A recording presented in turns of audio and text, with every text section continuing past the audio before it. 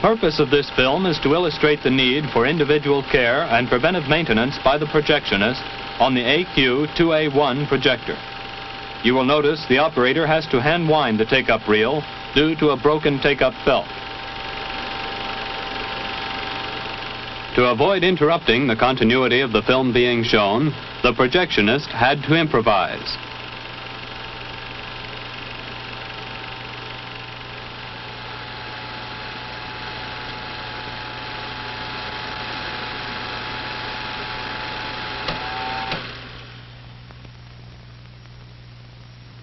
In any emergency, the operator must remain calm and do the best he can under the circumstances.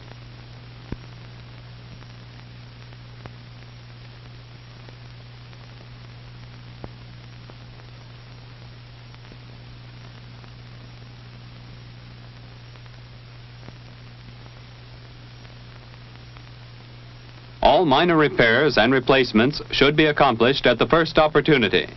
As in this instance, the projectionist is replacing the take-up belt with a new one as soon as the film was finished.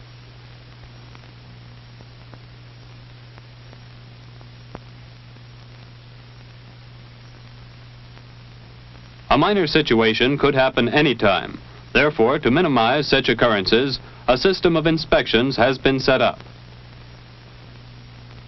This enables the operator to become more familiar with this equipment and to be aware of the condition of his projector. In his daily and periodic inspections, the projectionist includes any preventive maintenance necessary, such as oiling, cleaning, and replacement of parts. Internal lubrication for the AQ2A1 projector is supplied through a one-point feed lubrication system. Oil is applied to the central oil well cup located on top of the projector case. All projectors should be lubricated only with oil-bearing military symbol 2135H, and this should be used sparingly. It is a good idea to follow the same path as the film takes in your step-by-step -step inspection and preventive maintenance procedures. Start with the rewind belt and pulley. Make sure the belt is in good condition and the pulleys have the proper tension. Each film roller guide should be rotated and all dirt, lint, and film emulsion removed with an aperture brush.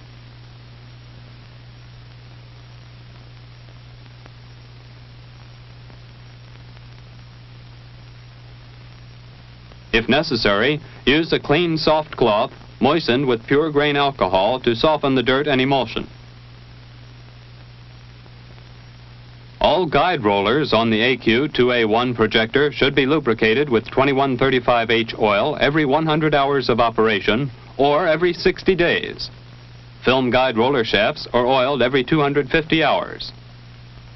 Clean the sprockets and shoes with the aperture brush moistened with pure grain alcohol. To facilitate the cleaning, open the film shoes and run the projector. Be sure to remove all traces of dirt and emulsion.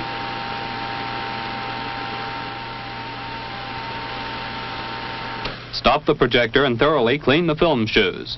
The film shoes must be perfectly clean, otherwise the film may be damaged.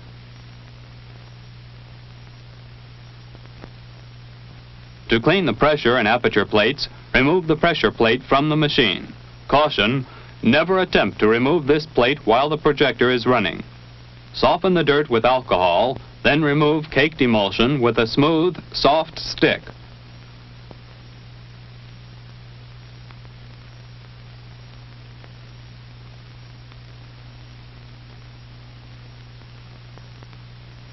Be sure to clean all dirt from the rectangular opening in the pressure plate. While the pressure plate is out, remove and clean the aperture plate. To remove, Grasp the thumb handle at the top of the assembly and pull up, then outward. With the aperture brush or moistened soft cloth, remove all traces of dirt and caked emulsion from the entire film contacting surface.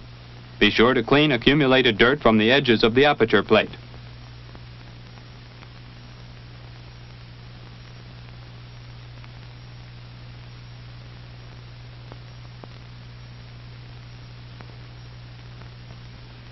When reinstalling the aperture plate, place the retaining slots of the plate over the guides on the mounting brackets, then push the plate downward as far as it will go.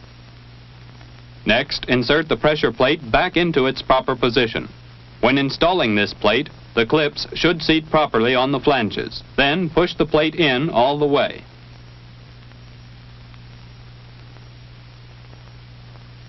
Next, make sure the projection lens is clean and free of all fingerprints. Remember, fingerprints should be removed at once, otherwise they may become permanently etched in the lens.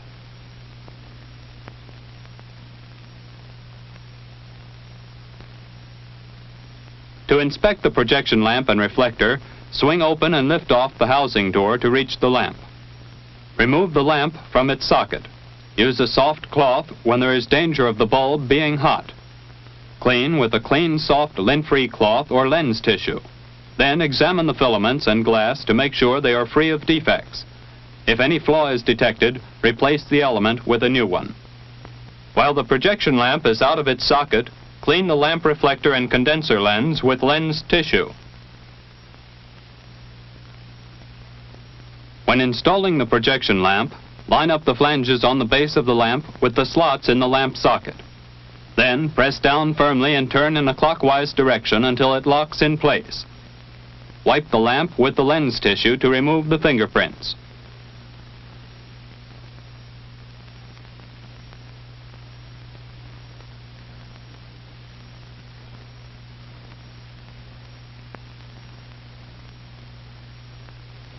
After installing the lamp, project the light on the screen and focus the image of the aperture. Should the light be uneven, adjust the position of the lamp with the adjustment levers. The right lever moves the lamp socket in and out, while the left one moves the socket backward and forward. Remember, if adjustment does not produce a uniform brilliance on the screen, the lamp is unsatisfactory and should immediately be replaced with a new one. Careful preventive maintenance in this area can greatly reduce film damage and replacement costs. Make sure all sprockets, sprocket shoes, and rollers are cleaned and free of residue. The sound drum must be handled very carefully because the bearings are delicate. Any damage to them will result in excessive sound flutter. While rotating the drum, remove all dirt and lint from its surface with a clean, soft, lint-free cloth. To check the exciter lamp, first make certain the power to the projector has been disconnected, then remove the cover by turning the thumb screw counterclockwise until the cover can be lifted from the projector. Then move the exciter lamp release and locking ring to its right-hand position to release the registration pins and permit the lamp to be lifted out. Clean the lamp with lens tissue and inspect the filaments and glass. If a flaw is detected, replace with a new lamp. To clean the exciter lamp lens, blow air across the surface, then polish with the lens tissue. Never attempt to take any lens out of its housing. This should be done by qualified technicians only using precision instruments. When installing the exciter lamp, place the lamp base openings over the appropriate registration pins and turn the locking ring to the extreme left. Wipe all fingerprints from the lamp and replace the cover.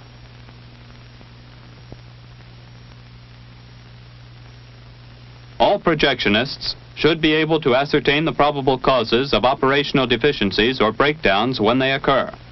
Some of the more frequent occurrences and possible remedies are motor operates but projection lamp does not light. This may be caused by motor lamp switch not turned to lamp position, projection lamp not seated correctly in socket causing poor contact, or the projection lamp is burned out. Picture not sharp on screen. One side or entire picture may be fuzzy. This could be due to improperly focused, dirty, oily, finger-spotted, or defective projection lens, insufficient pressure plate tension, or pressure plate not seating firmly against film in aperture channel, film loops too short, or it could be bad film. Picture is satisfactory, but there is no sound. Possible remedies are turn on amplifier switch, Set loudspeaker selector switch in correct position. Make sure loudspeaker cable is properly connected. Or replace burnt out exciter lamp. Inadequate sound volume or distorted reproduction due to volume control not turned up sufficiently.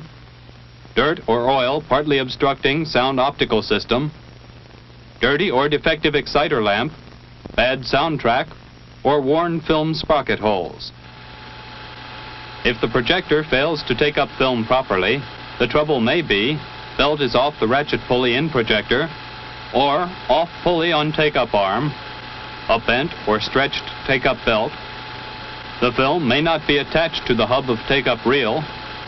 The take-up reel is bent or jammed on arm, or is slipping on the spindle, or the lock nuts on the take-up arm are too tight or too loose. When the projector fails to rewind film properly, the trouble may be bent or stretched rewind belt or belt off pulleys, or lock nuts on reel arm too tight or too loose, or the plunger may be set in the improper position.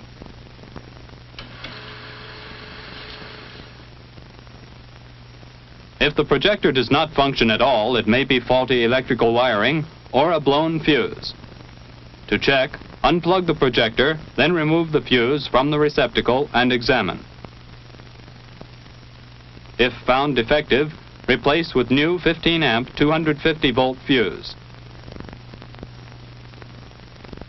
No special tools or equipment items are required for the preventive maintenance services delegated to the projectionist, and the items which are necessary for on-the-spot replacements are kept in the projector case door.